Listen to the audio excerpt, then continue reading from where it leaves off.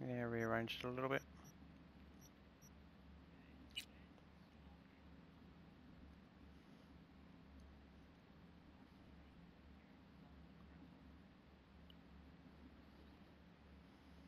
Hey everyone, feels great to have you back. So then, did y'all hear about that Arasaka aircraft carrier docked in Night City? Called Kujira, or the Whale. Apparently the Corp figured it wasn't safe in Japanese waters, afraid some local fishermen might harpoon it for scientific research. But honestly, it's quite the power move.